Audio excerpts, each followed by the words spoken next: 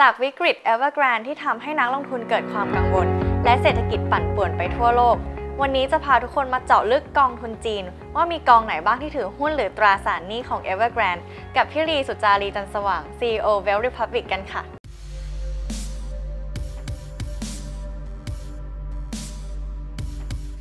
ค่ะ จากสถานการณ์วิกฤต Evergrande นะคะ ปัจจุบันทั่วโลกสถานการณ์เป็นยังไงบ้างคะพี่ลี แล้วก็ทางสหรัฐอเมริกาเนี่ยมีวิธีรับมือกับวิกฤตนี้ยังไงบ้างคะก็อย่างที่เราทราบนะคะ วันจันทร์ที่ผ่านมานะคะ วันที่ 21 นี่เรียกว่าเป็น Black Monday เลย เพราะว่าหุ้นของสหรัฐตกตกหนักมากนะคะ NASDAQ เอ่อ S&P 500ดาวโจนส์นะคะค่ะก็ดาวโจนส์ตกไป 600 จุดก็ถือว่า นับว่ารุนแรงที่สุดนะคะนับตั้งแต่เดือนพฤษภาคมที่ผ่านมาเลยทีเดียวนะคะ เพราะว่าเอ่อทั้งโลกก็กังวลว่าวิกฤตของ Evergrande เนี่ยจะกลายเป็นวิกฤตที่ลามเหมือนกรณีของเลแมนนะคะค่ะก็เลยทำให้มีแรงเทขายออกมาค่อนข้างเยอะนะคะ แต่เอ่อหลังจากนั้นก็มีข่าวจากทำเนียบข่าวนะคะว่าทางสหรัฐเองก็ เตรียมตัวที่จะรับมือเรื่องนี้นะคะ ถ้าสถานการณ์วิกฤตเกิดขึ้นนะคะ ค่ะวิกฤต Evergrande ก็เกิดจากอาณาจักรของ Evergrande ของเสี่ยจียินนะคะ ซึ่งเป็นมหาเศรษฐีอันดับ 12 ของจีนค่ะ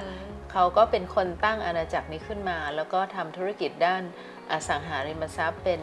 เอ่อรายใหญ่อันดับ 2 ของจีนนะคะของเขาเอ่อในส่วนตัวเขาก็ยังถือหุ้นอยู่ที่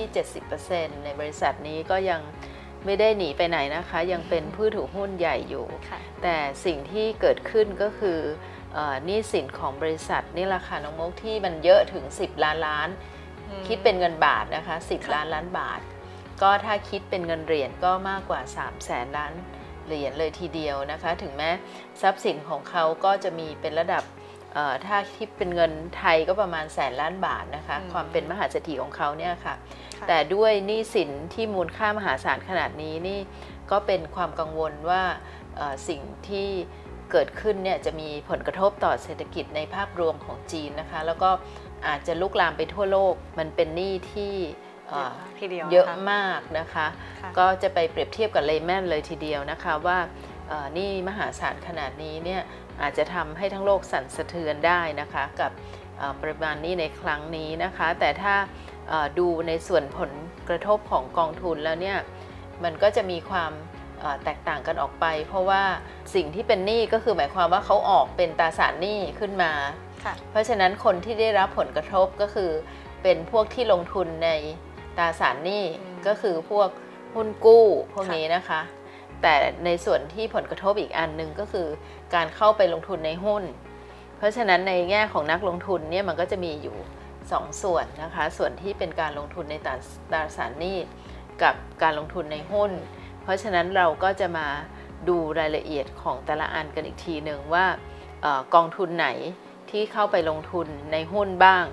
กองทุนไหนที่เข้าไปลงทุนในตราสารหนี้มาก วิกฤตการณ์ครั้งยิ่งใหญ่ขนาดนี้นะคะ แล้วทางการจีนมีวิธีรับมือยังไงบ้างคะพี่หลีก็หลาย ๆ คนก็คาดหวังนะน้องมกว่า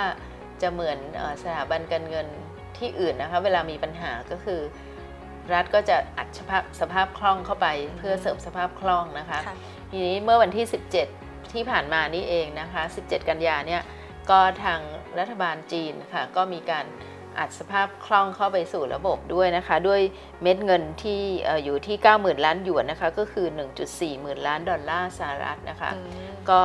เอ่อบรรยากาศก็ดูเหมือนจะเริ่มคลี่คลายขึ้นนะคะ จากค่ะมาตรการที่ทางการเข้าไปดูแล แต่ในขณะเดียวกันเนี่ยเอ่อการที่เกิดสัญปัญหาในครั้งนี้หลาย ๆ คนก็บอกว่าทางตัวบริษัทเองเนี่ยยังอยู่ในในวิสัยที่จะเข้าไป เจรจาต่อรองกับเจ้าหนี้ได้ แล้วก็เป็นเรื่องของการปรับโครงสร้างมากกว่าที่จะเข้าสู่กระบวนการล้มละลายนะคะทีนี้ก็มีเรื่องของการเข้าไปตรวจสอบ ตัวทรัพย์สินและหนี้สินของบริษัทนะคะว่าเอ่อตัวทรัพย์สินของบริษัทเนี่ยมีอะไรบ้าง แล้วก็เอ่อธุรกิจที่บริษัทเข้าไปลงทุนเนี่ยก็มีความหลากหลายนะคะสุดท้ายเขาก็ไม่ได้ลงแค่อสังหาริมทรัพย์เขามีการทำธุรกิจเกี่ยวกับประกันด้วยค่ะ นะคะแล้วก็ไปทำอะไรอีกหลาย ๆ อย่าง ซึ่งเป็นการขยายขอบเขตของการทำธุรกิจของเขานะคะเพราะฉะนั้นการเข้าไปตรวจสอบตรงนี้เนี่ยก็ยังอยู่ในระหว่างการตรวจสอบว่าสุดท้ายเนี่ยตัวทรัพย์สินทั้งหมดเนี่ยจะเข้ามาช่วยการันตีให้กับเจ้าหนี้สบายใจได้ไหมว่า ในถึงจุดหนึ่งเนี่ยสามารถที่จะเอาทรัพย์สินเนี่ยโอนมาเป็นบางส่วนเพื่อชำระหนี้ได้ แล้วก็ทางบริษัทเองเนี่ย ก็ทำธุรกิจในเรื่องเกี่ยวกับ wealth management ด้วยนะคะ เพราะฉะนั้นก็จะมีนักลงทุนส่วนหนึ่งที่เข้าไปลงทุนในลักษณะที่เป็นการลงทุนในอสังหาริมทรัพย์ แล้วก็เป็น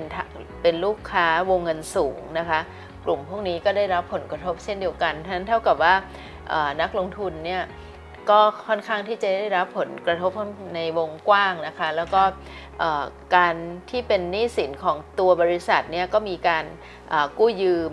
ออกตราสารหนี้ให้กับสถาบันการเงินต่างประเทศด้วย แล้ววันนี้นะคะจะพานักลงทุนมาเจาะลึกกองทุนจีนค่ะ ว่ามีกองไหนบ้างที่ถือหุ้นหรือตราสารหนี้ของ Evergrande กัน จะมาเจาะลึกกันถึง 5 บลจค่ะ เริ่มต้นด้วยบลจแรกนะคะ TMB East Spring ค่ะ มีกองทุนไหนบ้างคะพี่ลีในส่วนของ TMB East Spring นะคะก็ได้แจ้งมาให้ทางตัวแทนขายได้ทราบนะคะ ถึงกองทุนต่างๆ ที่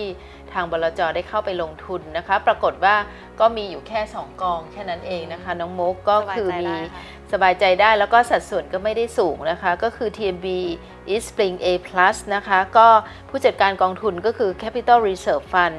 ซึ่งเป็นกองทุนหลักของ TMB East Spring A Plus นะคะ ก็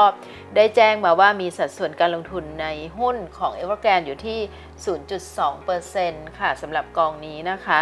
แล้วก็กองที่ 2 นะคะ เป็นการลงทุนในตราสารหนี้ค่ะ เพราะฉะนั้นกองทุนที่เข้าไปลงทุนใน Evergrande ก็คือจะเป็นอกอง TMB Asian Bond นะคะ ก็ถืออยู่ที่สัดส่วน 0.84%ค่ะสำหรับ กองอื่นๆนะคะ ทางบลจทหารไทยก็บอกว่าไม่ได้มีการลงทุนใน Evergrande นะคะ เพราะฉะนั้นก็ส่วนในส่วนของทหารไทยก็คงจะมีแค่ 2 กองเพียงเท่านี้ก็ข้อสังเกตนะคะก็คืออกองที่เป็นตราสารหนี้ที่เป็นเอเชียน หรือว่าตราสารหนี้ที่เป็นไชน่านะคะ ส่วนใหญ่ก็จะมีการลงทุนในตราสารหนี้ของ Evergrande นะคะ อาจจะเพราะว่าด้วยความที่ว่าเป็นการลงทุนในเฉพาะประเทศ เฉพาะภูมิภาคนะคะ แล้วก็ในส่วนที่เป็นตราสารทุนส่วนใหญ่ก็จะเป็นกองที่เป็น ETF ซะมากกว่านะคะค่ะพี่ลีค่ะต่อมาค่ะบลจวันค่ะ เห็นว่ามีอยู่เพียง 2 กองเท่านั้น ที่เอาไปลงทุนกับ Evergrande ค่ะมีกองไหนบ้างคะพี่ลีค่ะ ในส่วนของบลจวันก็เปิดเผยมานะคะใน ในส่วนที่จะเป็นกองจีนนะคะคะ แล้วก็กองอื่นๆนี่ทางบลจก็บอกว่าไม่ได้มีการลงทุนนะคะ ในส่วนของกองจีนของบลจวันเนี่ยก็คือมี 2 กองนะคะน้องมุก อันแรกก็คือเป็นกอง Active Fund อันที่ 2 เป็นกอง Passive Fund ที่ในส่วนกองที่เป็น Active Fund เนี่ยเขาเอาไปลงในกอง หลักอยู่ 3 กองไม่ได้เอาไปลงกองเดียวนะนี้ 3 กองนั้นก็จะมีของ Schroeder อันหนึ่งนะคะชื่อว่า Schroeder ISF All China ลงอยู่ในสัดส่วน 39.8%อันนี้กองทุนหลักก็แจ้งมาว่าไม่ได้มีการลงทุนใน Evergrande อย่างใดนะคะ แล้วก็อันที่ 2 ก็คือ T Low Price China Evolution ก็ทางกองหลักก็บอกว่าไม่มีการลงทุนในหุ้น Evergrande ในส่วนที่ 3 UBS All China นะคะ ลงอยู่ใน 25.5%อันนี้ทางบลจบอกว่ารอทางกองทุนหลักยืนยันมานะคะว่ามีการลงทุนหรือไม่นะคะ แล้วก็เท่ากับว่ากองนี้ก็มีความเสี่ยงค่อนข้างน้อยนะคะ เพราะว่า 2 กองหลักที่ให้ ข้อมูลมานี่ก็คือไม่ได้มีการลงทุนใน Evergrande นะคะทีนี้ในส่วนอีกกองหนึ่งที่เป็นกอง ETF นะคะกอง ETF เนี่ยค่อนข้างจะเลี่ยงยากนะน้องมุกเพราะว่าความที่เป็นเป็น ETF มันต้องลงทั้งตลาด ทีนี้หุ้น Evergrande ก็ถือว่าเป็นหุ้นที่มีขนาดใหญ่ระดับหนึ่งนะคะ แล้วก็แต่การให้น้ำหนักของกอง ETF เนี่ยก็ไม่ได้เยอะมากนะคะ สัดส่วนของวันไชน่าซึ่งเป็นหุ้น S share นะคะ เป็น ETF ที่ลงใน S share ก็มีการลงในหุ้น Evergrande โดยโดยข้อมูลนะวันที่ 15 กันยาก็ถืออยู่ที่ 0.07%เท่านั้นเองนะคะก็ถือว่าเป็นสัดส่วนที่ไม่เยอะนะคะ เพราะฉะนั้นเนี่ยถ้านักลงทุนมีการลงทุนในกอง ETF ต่างๆเนี่ยก็สามารถที่จะคาดเดาได้นะคะว่าสัดส่วนการลงทุนก็คงจะอยู่ในประมาณที่มันใกล้เคียงกันนะคะ เพราะว่าเป็นกองประเภทแพสซีฟฟันเหมือนกันนะคะ ก็ลงไม่ถึง 1%ค่ะ แค่ 0.07%แค่นั้นเองนะคะ ค่ะ แล้วในส่วนของบลจ Asset Plus นี่มีลงทุนใน Evergrande บ้างไหมคะพี่หลีทางบลจ Asset Plus เนี่ยแจ้งมากับทางตัวแทนจำหน่ายนะคะว่าไม่มีการลงทุนใน Evergrande เลยค่ะ ไม่ว่าจะเป็นเอ่อตราสารหนี้หรือตราสารทุนนะคะ อันนี้เป็นข้อมูลที่ได้รับแจ้งมาค่ะ ต่อกันด้วยบลจใหญ่ค่ะ อย่าง SCB ค่ะ SCB นี่มีการลงทุนใน Evergrande บ้างไหมคะพี่หลี SCB เอ่อที่แจ้งข้อมูลมาเนี่ยในส่วนที่เป็นกองทุนหุ้นต่างประเทศเนี่ยก็จะคล้ายๆกับเอ่อเจ้าที่เราแจ้งไปนะคะของเออค่ายอื่นนะคะค่ะที่ของบลจวันหรือว่าของค่ายอื่น ๆ ที่มีกองดัชนี ก็จะมีผลกระทบในตัวนี้นะคะ ของค่าย SCB กองทุนหุ้นต่างประเทศก็มี SCB CH CEH นะคะ เป็นกองไชน่าที่เกาะอยู่กับดัชนีห่างเสง CEI นะคะ อันนี้ก็มีหุ้นตัวนี้อยู่ที่ 0.09%นะคะ แล้วก็ในส่วนที่เป็นตราสารหนี้ต่างประเทศเนี่ยทางบลจก็แจ้งมาว่าไม่มีการลงทุนเลยค่ะ เพราะฉะนั้นในส่วนของ SCB ก็จะมีเฉพาะกองหุ้น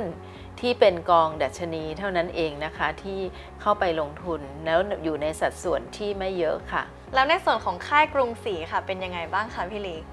ของค่ายกรุงศรีนะคะที่เอ่อเราติดตามข้อมูลมาก็ค่อนข้างจะมีสัดส่วนเยอะกว่าที่อื่น ตรงที่ว่าของค่ายนี้เขามีออกกองที่เป็นเรียกว่าเอเชียนบอลฟันนะคะเพิ่งออกกองมาไม่นาน ชื่อว่า BGF Asian High Yield Bond Fund คือคำว่า High Yield เนี่ยหมายความว่ามันก็มีการลงทุนในตราสารอะไรที่เสี่ยงด้วยนะคะ เพราะฉะนั้นเนี่ย ก็มีการลงทุนในตัวนี้ด้วย ซึ่งสัดส่วนของการลงทุนใน Evergrande ก็อยู่ที่ 1.7%เทียบกับ Benchmark ที่ 1.6%ก็ถือว่าเอ่อค่ายนี้ก็จะมีการลงในเอ่อตราสารที่เป็น High Yield ก็รวมในส่วนนี้เข้าไปด้วยนะคะฉะนั้นเอ่อในส่วนบลจอื่น ถ้านักลงทุนเอ่อมีการลงทุนใน High Yield ก็อาจจะต้องเข้าไปตรวจสอบกับบลจในรายละเอียดอีกครั้งหนึ่งนะคะค่ะเพราะว่าการลงทุนของ High Yield ก็มีโอกาส เป็นอย่างมากที่เขาจะเข้าไปลงทุนในเอ่อตราสารหนี้ประเภทนี้ค่ะ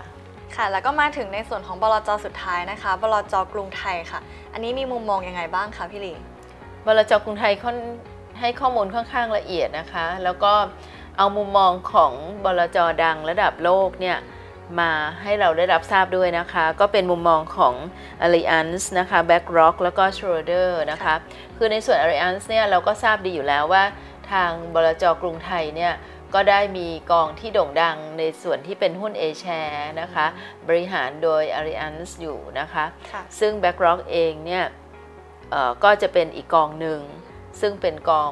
ไชน่าเป็นกองจีนอีกกองหนึ่งที่บริหารโดย BlackRock นะคะ แล้วก็มีส่วนของ Schroder ทีนี้เราย้อนกลับมาในส่วนของเอ่อ Allianz นะคะ ซึ่งกองนี้เขาก็มีการเอ่อแจ้งมาบอกว่า การลงทุนของ Allianz เนี่ยไม่ได้มีการลงทุนใน Evergrande แต่อย่างใดนะคะ แล้วปัจจุบันเนี่ยเขาก็มีความระมัดระวังในเรื่องของการลงทุนในกลุ่มอุตสาหกรรมอสังหาริมทรัพย์อย่างมาก แล้วก็สัดส่วนการลงทุนของเขาในกลุ่มอสังหาริมทรัพย์เนี่ยน้อยมากเลยค่ะ น้องมุกอยู่แค่ 0.86% คำว่า 0.86นึงคือทั้งกลุ่มอุตสาหกรรมเลยนะคะ ไม่ใช่ว่าหุ้นตัวใดตัวหนึ่ง เพราะฉะนั้นเนี่ยเขาก็เหมือนกับว่าเป็นการตอกย้ำมุมมองของเอ l l i a n z เองว่าเขาให้ความระมัดระวังในเรื่องของการลงทุนในกลุ่มนี้มาก ๆ ค่ะ ทีนี้เรามาดูในส่วนของเออกองอีกค่ายหนึ่งนะคะ คือ BlackRock นะคะ ในส่วนของ BlackRock เนี่ยก็คือก็มีกองทุนหลักของเขาก็คือเออที่เรียกว่า China Bond Fund นะคะ เป็น BGF China Bond Fund นะคะ ก็มีสัดส่วนในตราสารหนี้อยู่ 0.14%นะคะ การลงทุนใน 0.14%ก็จะให้คล้ายกองของที่อื่นที่ลงในสัดส่วนน้อยนะคะ ก็ไม่ได้ว่าถือเป็นสัดส่วนที่ได้รับผลกระทบนะคะ แล้วก็ในกองไชน่าของ BlackRock เองเนี่ยก็จะมีความใกล้เคียงกับ ของ Allianz ตรงที่ว่าน้ำหนักการลงทุนในกองในหุ้นอสังหาริมทรัพย์ของกองนี้ก็ให้น้ำหนักน้อยนะคะ ก็เขาบอกว่าเขาลงอยู่แค่ 1.24%สำหรับการลงทุนในอสังหาริมทรัพย์ เพราะฉะนั้นคนที่ไม่ใช่กังวลแค่ Evergrande อย่างเดียว กลัวว่าวิกฤตนี้มันจะเอ่อไปลามไปถึงอสังหาริมทรัพย์ตัวอื่น ๆ เพราะฉะนั้นก็สบายใจได้ว่าสัดส่วนการลงทุนของทั้งสองกองเนี่ย ก็ลิมิตไว้ที่น้อยมากนะคะ อันหนึงก็คือไม่ถึง 1%อีกอันหนึงก็แค่ 1.24%เพราะฉะนั้นสมมุติว่าตัวอะไรที่มันเกิดขึ้นแล้วมันลุกลามไปทั้งอุตสาหกรรมเนี่ย ก็จะไม่ได้รับผลกระทบต่อกองทุนมากค่ะ ค่ะ แล้วทางด้าน Schroders ค่ะ มีมุมมองต่อปัญหาของ Evergrande อย่างไรบ้างคะพี่ลีก็ทาง Schroeder ก็ให้ความเห็นนะคะว่า ปัญหาของเอ r ร r a n d เนี่ยเป็นปัญหาระยะสั้นนะคะ น่าจะเข้าสู่ภาวะล้มละลายนะคะ ก็คือเป็นเรื่องของการที่บริษัทจะต้องเข้าไปแก้ปัญหาโดยการขายทรัพย์สินออกมานะคะ หรือว่าขายกิจการอื่น ๆ ที่ไม่เกี่ยวข้องออกไปนะคะ อย่างที่เราทราบว่าธุรกิจของเอ r ร r a n d เนี่ยก็คือทำหลายอย่างนะคะ มีทั้งประกันมีทั้งแบงค์ด้วย แล้วก็ไปลงทุนในธุรกิจเกี่ยวกับรถไฟฟ้า รถยนต์ไฟฟ้าด้วยนะคะ เพราะฉะนั้นเนี่ย สินทรัพย์อะไรที่ขายได้ ก็น่าจะขายมาแล้วก็สามารถที่จะเอามาเอ่อจ่ายชำระคืนได้ในบางส่วนนะคะอืมเพื่อเป็นการทุเลาเบาบางในภาระหนี้ที่มากเกินไปตอนนี้ค่ะ ค่ะ ค่ะ งั้นเรามาฟังมุมมองจากทาง Allianz กันบ้างนะคะ มีมุมมองอย่างไรบ้างคะพี่ลี Allianz นี่ก็มาขายเอ่อกองในเมืองไทยหลายกองนะคะ น้องมุกที่โด่งดังก็เป็น China A นะคะ แล้วนอกจากนั้นก็จะมีกอง โรบอติกกองอะไรหลาย ๆ อย่างนะคะที่เขามีชื่อเสียงในเรื่องของการบริหารจัดการนะคะ Allianz ก็ไมีมองว่าความเสี่ยงของ Evergrande เนี่ยเป็นความเสี่ยงเฉพาะกิจการของเขานะคะ เพราะว่าทาง Evergrande เนี่ยคือก่อนหนี้มา แล้วก็เอาเงินไปใช้ประโยชน์ในการขยายขอบเขตทางธุรกิจที่ไม่ใช่ธุรกิจหลักที่เขาทำทำให้เเกิดปัญหาขึ้นมาตรงนี้นะคะ เพราะฉะนั้นเนี่ยความเสี่ยงนี้ก็เป็นเรื่องของ เฉพาะของสิ่งที่เกิดขึ้น แล้วก็การ Allianz ก็คิดว่าไม่ได้เป็นความเสี่ยงเชิงระบบแต่อย่างใดนะคะ เพราะว่าการกู้ยืมของ Evergrande เองเนี่ยเป็นการกู้ที่มีหลักทรัพย์ค้ำประกัน เพราะฉะนั้นเนี่ยสิ่งอะไรความเสียหายที่เกิดขึ้นอย่างหนึ่งก็คือมันก็ยังมีทรัพย์สินค้ำประกันตัวหนี้สินที่เขาไปสร้างขึ้นอยู่นะคะ ค่ะและมุมมองสุดท้ายนะคะจากทาง BlackRock ค่ะ พี่ลีช่วยแชร์ให้นักลงทุนฟังฟังหน่อยค่ะ ว่ามีมุมมองยังไงบ้างค่ะ ค่ะอย่างที่เราทราบนะคะ พอมีปัญหาเกิดขึ้นก็มีแรงเทขายนะคะ ไม่ว่าจะมีการขายตราสารหนี้หรือว่าการขายหุ้นออกมานะคะ ซึ่งทาง BlackRock ก็มองว่าการขายที่รุนแรงตรงนี้น่าจะเป็นสภาวะที่เกิดขึ้นในระยะสั้นนะคะ พอสถานการณ์ดีขึ้นทุกอย่างก็จะกลับขึ้นมาได้ แล้วก็สิ่งที่เกิดขึ้นกับ Evergrande เนี่ยก็ไม่ได้จะเกิดขึ้นกับ อสังหาริมทรัพย์อื่น ๆ ที่ไม่มีปัญหาทางการเงินนะคะก็คือเอ่อมันก็ขึ้นอยู่กับกิจการแต่ละส่วนนะคะว่าจะมีปัญหาอะไรนะคะ ก็ไม่ได้มองว่าเป็นปัญหาในเชิงระบบที่จะเกิดขึ้นกับทุกๆบริษัทนะคะ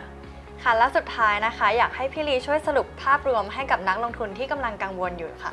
ในส่วนของการลงทุนอย่างที่เราได้เปิดข้อมูลการลงทุนของ 5บลจไปแล้วเนี่ย